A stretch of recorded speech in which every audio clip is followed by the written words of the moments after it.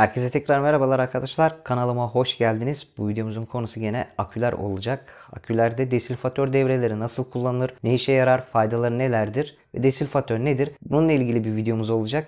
Yalnız videoya başlamadan önce sizlere bir uyarıda bulunmak istiyorum. Lütfen videoyu atlayarak geçmeyin arkadaşlar. Birçok bilgiyi kaçırmış olabilirsiniz. Daha önceki videolarımda da söylemek istedim zaten. Eğer videoyu atlayarak geçerseniz birçok yeri anlamıyorsunuz ve bana yorumlarda soruyorsunuz. Aslında videomuzda anlattığımız konuları tekrardan yorumlar kısmında da cevaplamış oluyoruz. Eğer videoyu atlayarak izlerseniz siz de bana yorumlardan soracaksınız. Önemli değil ben hepsini cevaplarım ama lütfen videoyu düzgün izlerseniz sizler için daha faydalı olacaktır arkadaşlar.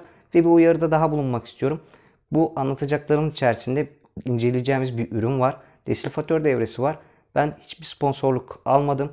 Bir reklamımız yok. Bu yüzden bu videoda tarafsız olarak sizlere gerçek değerlerle gerçek şekilde hem ürünü anlatacağım arkadaşlar hem de desilfatör nedir bundan bahsetmeye çalışacağım.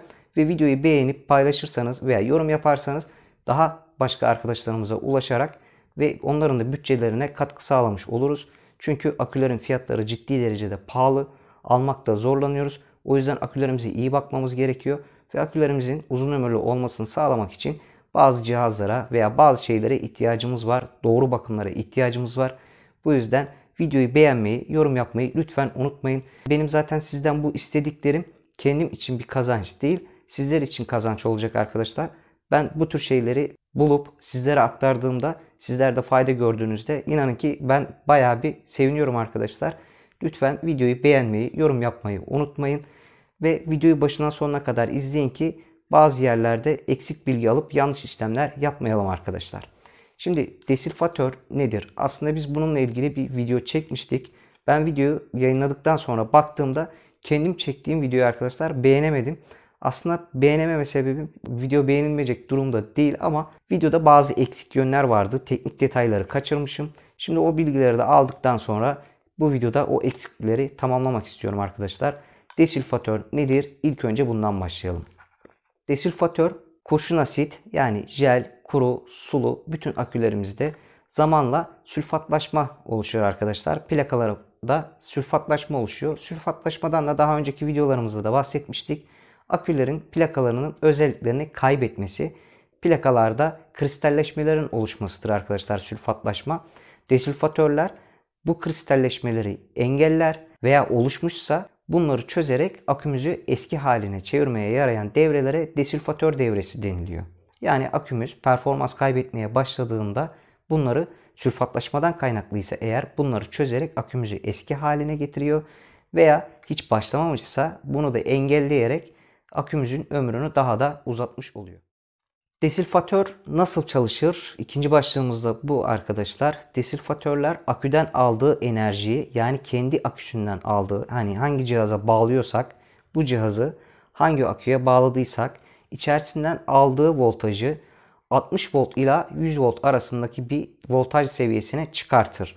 Bu akünün sülfatlaşma durumuna göre değişir. En az 60, en fazla da 100 volt seviyesinde bir seviyeye çıkartarak aküye 5 ila 15 milisaniye aralığında. Bakın buna dikkat edin arkadaşlar. Saniye demiyorum, milisaniye. 5 ila 15 milisaniye arasında 1 ila 2 kHz aralığında bir darbeleme yaparak içerideki oluşmuş sülfatlaşmayı, plakalardaki oluşmuş sülfatlaşmayı çözerek akünün içerisindeki kendi sıvısının eski haline dönmesine, plakalardaki eski haline dönmesine yardımcı olan cihazdır. Yeni akülerde kullanıyorsanız zaten sülfatlaşmayı bu cihazları kullandığımızda baştan engellemiş oluruz. Eğer sülfatlaşmış biraz daha eski akülerimizde kullanırsak da bu şekilde akülerimizi eski haline geri döndürmeye çalışan bu cihazlara desilfatör devresi diyoruz ve desilfatörlerimiz bu şekilde çalışıyor. Ve ben ara ara elimdeki cihazdan da bahsetmek istiyorum arkadaşlar. Bu benim elimdeki cihaz bir elektrik devresine bağlı olmayan bir cihaz. Yani şebeke elektriğinden elektriğini almıyor. Kendi aküsünden yani bizim hangi aküye taktıysak enerjisini ondan alıyor. Ve bahsettiğim değerlerdeki işlemleri kendi aküsünden aldığı enerjiyle bağladığımız akünün enerjisiyle bu işlemleri yapabiliyor. Bazı cihazlarda elektriğe yani şebeke elektriğine bağlayarak yapmanız gerekiyor. Desilfatör bu elimdeki desilfatör gördüğünüz gibi sadece artı ve eksi kutbunu kullanarak akümüzün başlığına takıyoruz. İçerisindeki voltajı 60 volt ila 100 volt arasında dediğim gibi akünün durumuna göre, sülfatlaşmanın durumuna göre 60 volt ila 100 volt arasındaki bir değeri çıkartarak 5 ila 15 milisaniye aralığında tekrarlayarak 1 ila 2 kHz aralığında bir darbeleme yaparak içeride oluşmuş sülfatlaşmayı çözüyor veya sülfatlaşma henüz yok yeni akünüz ise bu aküdeki sülfatlaşmayı önceden engellediği için akünüzün ömrü daha da uzun oluyor. Bir diğer başlığımız desilfatör ne işe yarar, faydaları nelerdir? Eğer yeni bir akü aldıysanız ve bu tür cihazı desilfatör devresini akünüze bağladıysanız az önce bahsettiğimiz akülerdeki hasar oluşturabilecek sülfatlaşmayı ilk baştan zaten önüne geçmiş oluyorsunuz. Akünüzde sülfatlaşma oluşmuyor. Bu cihaz sürekli olarak üzerinde takılı kalabilir. Eğer bu cihaz üzerinde takılı kalırsa akünüzün ömrü örnek veriyorum normal kullanımlarda 1 yılda akünüzü değiştirmeniz gerekiyorsa bunu bu da bir örnektir arkadaşlar. 5 yıl 10 yıl gibi bir sürelerde ömrünü uzatabiliyorsunuz. Veya diyelim ki siz akünüzü daha önceden aldınız bir süre kullandınız sülfatlaşma zaten başladı. Bu cihazı takarsanız gene sülfatlaşmayı hem engellemiş oluyorsunuz hem de oluşan sülfatı çözmüş oluyorsunuz. Bu işlemi yaparken de akümüze taktığımızda 10 ila 30 gün aralığında akündeki sülfatlaşma durumuna bağlı olarak içerideki sülfatlaşmayı çözüp akümüzü eski performansına geri döndürüp hem de ömrünü uzatmış olabiliyorsunuz. Peki desülfatörleri nerelerde kullanabiliriz? Az önce bahsetmiştim.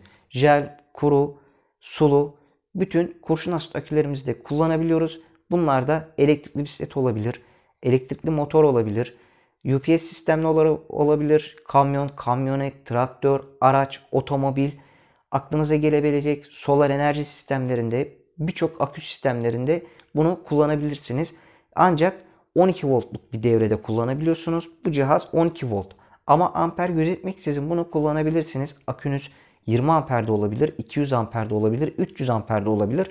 Sadece burada 12 volt olan aküye takmanız gerekiyor. Bazı sistemlerde 2 akü, 3 akü, 5 akü bunun gibi seri bağlayarak voltajları yükseltilebiliyor. O sistemlerde de kullanabilirsiniz. Ancak direkt aküye 60 voltsa 60 volt kısmına bağlamıyorsunuz arkadaşlar. Her akünün kendi artı ve eksi kutbuna yani 12 voltu kullanarak bu cihazları kullanırsanız düzenli aralıklarla tek cihazda olabilir veya her akünüze farklı alabilirsiniz.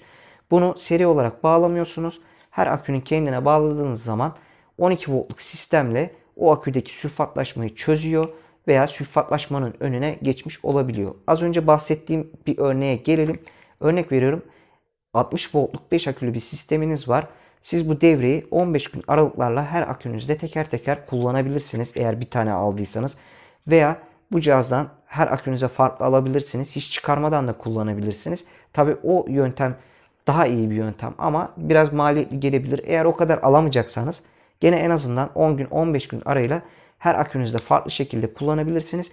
Ve bu cihazı kullanırken de üzerinden sökmenize gerek yok. Hani bu az önceki bahsettiğim şekilde belki sökmeniz gerekebilir. 5 akülü bir sistemde kullanıyorsanız bir hafta bir akünüzde, bir hafta diğer akünüzde kullanmanız gerekebilir. Ama ben örneği şundan vermek istiyorum. Diyelim ki bir tane akünüzde kullanacaksınız. Bunu taktığınızda şarj ederken mi takacağım veya şarj olduktan sonra mı takacağım veya kullanırken mi takacağım diye düşünmenize gerek yok. Bunu her an her zaman üzerinde takılı olarak kullanabiliyorsunuz. Üzerinden çıkartmanıza gerek yok. Akünüze kesinlikle zarar vermiyor zaten. Aksine akünüze sürekli olarak bakım yaptığı için aküdeki sülfatlaşmayı da önlediği için akünüzün ömrü ciddi derecede uzuyor ve bütçe olarak size maliyet olarak bu geriye döndüğünde gerçekten çok ciddi zararlardan, maddi zararlardan kurtulmuş oluyorsunuz. Ben şu anda kullandığım elektrikli motorumun aküsünün bir tanesine bile baktığımda internette 1200 liralık fiyatlarda olduğunu görüyorum arkadaşlar. 40 amperlik bir akünün. Şimdi 40 amperlik bir aküyü elektrikli motor kullanan arkadaşlarım bilirler. Motorların akülerini tam performans olarak en fazla bir sene kullanıyor. Öbür yıla baktıklarında, öbür yıla geçtiklerinde akünün performansının ciddi derecede düştüğünü görüyorlar.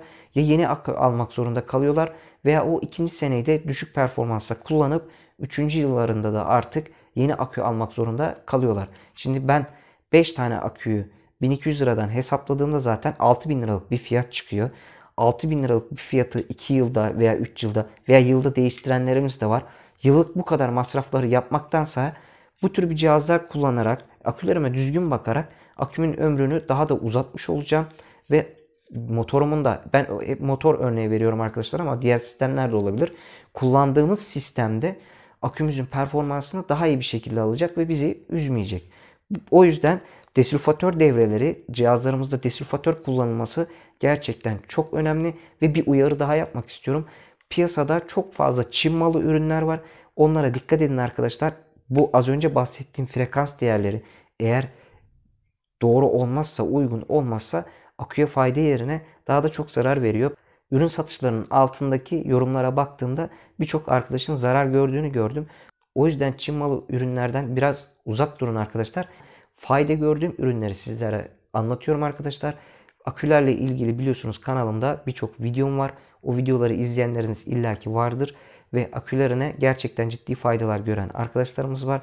Akülerimize nasıl bakmamız gerekiyor? O videolarda da bahsettiğim eğer görmediyseniz o videolara da bakabilirsiniz. Asıl şimdi anlatacaklarıma dikkat etmeniz gerekiyor arkadaşlar. Kurşun asit akülerde desülfasyon işlemi sadece ve sadece yüksek frekanslı PWM pulse denilen darbeler ile sülfatlaşmayı çözebiliriz. Bunun haricinde hiçbir şekilde sülfatlaşmayı çözemeyiz.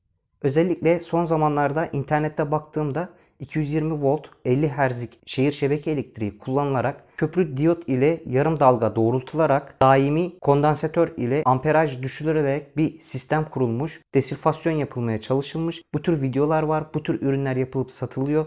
Eğer bu tür ürünleri alıp da bu şekildeki sistemi eğer akülerinize uygularsanız arkadaşlar artık geri dönüşü olmayan akülere ciddi zararlar vermiş olursunuz. Az önce de söylediğim gibi akülerdeki sülfatlaşmayı çözebilmek için ancak ve ancak yüksek frekanslı PWM pulse denilen darbeleme yöntemiyle aküdeki sülfatlaşmayı çözebiliriz.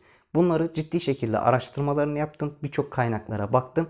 Aküdeki sülfatlaşma bu bahsettiğim yüksek frekanslı PWM pulse denilen sistemle çözülebiliyor. Yoksa diğer türlü kondansatör gibi sistemlerle yapılmış 220 volt 50 Hz bildiğimiz şehir şebeke elektriğine kondansatör gibi bazı sistemler kullanılarak yapılmasıyla akülerdeki sülfatlaşmayı değil aslında akülerimizi çok ciddi bir şekilde plakalarına zarar vererek içerisindeki plakalar zarar gördüğü zaman da akünün ömrünün çok hızlı bir şekilde bittiğini göreceksiniz arkadaşlar. O yüzden paranızı boş yere harcamayın.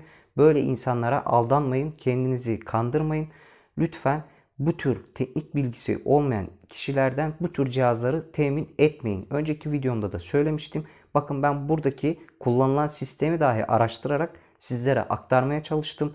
Çünkü akülere verilen her türlü voltaj, frekans, amperaj gibi şeyler aküye yanlış bir verildiğinde ciddi zararlar vermekte. Az önce videonun içerisinde de söyledim. Bakın dalga boyları var, voltajlar var, e, saniyede, milisaniyede hatta verilmesi gereken frekanslar var. Bunlar e, çok ciddiye alınması gereken değerler.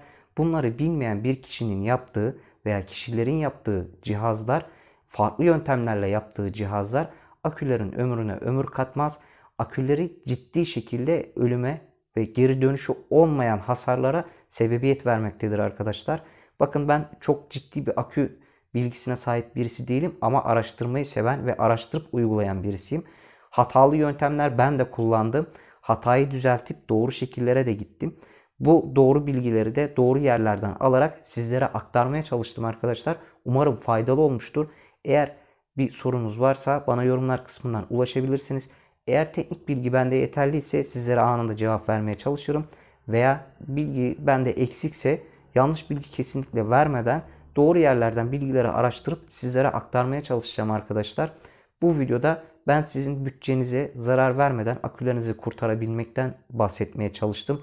Umarım faydalı olmuştur. Başka videoda görüşmek üzere. Lütfen videonun başında söylediğim gibi bu videoyu beğenip yorum yazmayı unutmayın. En azından beğeni atın ki diğer arkadaşlarımız da bu videolara daha kolay ulaşabilsin. Videomuz biraz daha üst seviyelere çıksın. Burada amacım kendime pay biçmek değil Kesinlikle bundan emin olabilirsiniz. Sizlere doğru bilgileri bildiğimde, bulduğumda, araştırdığımda aktarabilmektir arkadaşlar. Bundan emin olabilirsiniz. Başka videoda görüşmek üzere. Hoşçakalın.